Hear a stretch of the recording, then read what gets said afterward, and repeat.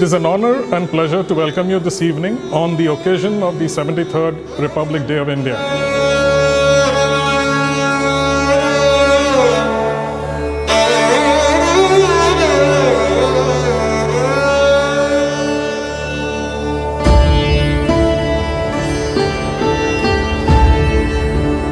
It is the Republic Day of India.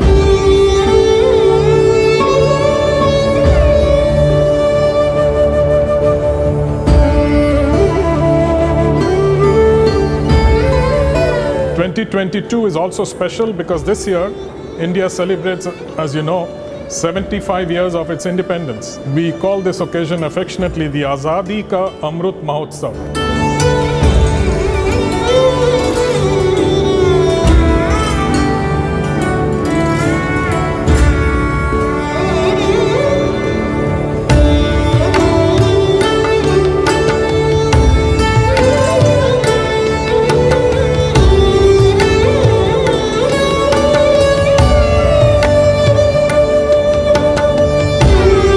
With a trade of almost US dollars 3 billion, with more than 20,000 students in Ukraine, close cooperation in major international organizations, a robust and long-term military, military technical cooperation, as well as in other high-tech sectors, and deep mutual respect and love for each other's culture, the India-Ukraine friendship is progressing at a very rapid and satisfactory pace in all spheres of our cooperation.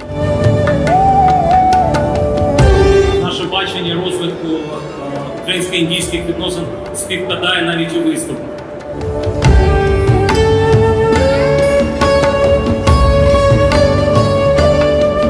The biggest highlight of 2021 was, of course, the meeting between our two leaders, the Indian Prime Minister and the Ukrainian President.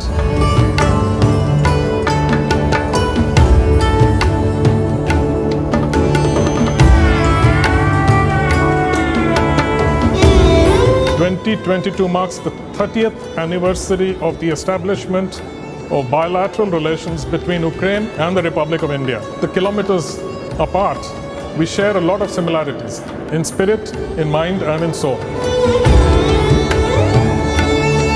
In today's world, where differences are getting emphasized, there is a need to come together, to join this hand in friendship. And there's nothing better than using the path of culture to bridge friendships and make this stronger. So the lines go like this. Din puche mera naam aur pata. Don't ask me my name or my identity. Rasmo ko rakh. Let's keep our differences aside. Char kadam, bas char kadam. Four steps, just four steps. चल दो ना साथ मेरे Let's take this walk together. It goes something like this if you permit. I'll try and enact it.